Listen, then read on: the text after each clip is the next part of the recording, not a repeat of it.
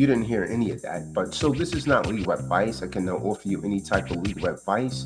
If you need legal advice, seek yourself a competent counsel, and then please be advised. Everything I'm about to give you is strictly for educational, informational, and entertainment purposes only. This is Taza Doctrine, a YouTube show.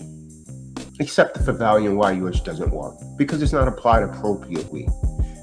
These are private documents for entertainment purposes only, right?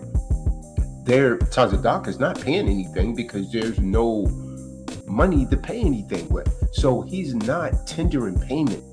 Again, there's no money to pay anything. Perhaps if you gave him some gold to silver, then he would pay debts. So the contracts are already in place in the background. Contracts are dynamic. You just need to know how to make them move. Tazadaq is just simply accepting the credits that's actually been established and authorize them to set off, settle, and close the debt with the said credit.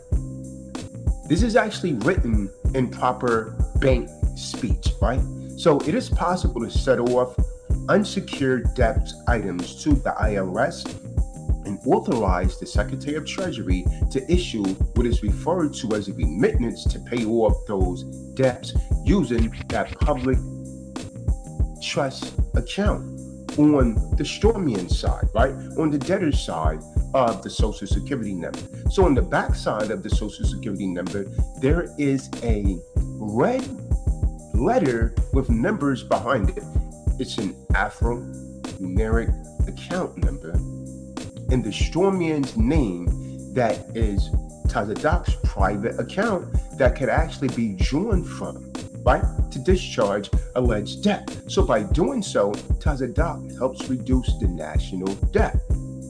Accessing and utilizing this credit, this TBA account lawfully, safely, and wisely literally requires considerable education, which is why Tazadaq always tell you to go and get his books, Liberate the Oppressed, Freedom from Behind Bars, The Game of Commerce, and How to Play It, The Plug, The Corporation, and so on and so forth. If you don't have the books, you will not understand this as much as you really need to, and you really need to study those books.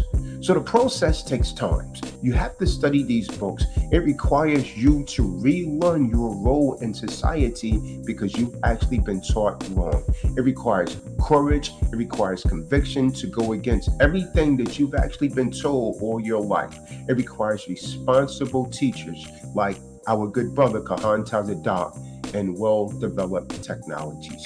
This has been a YouTube short, and I also invite you to come out to webinar this weekend, December the 31st from 12 noon to 6 p.m.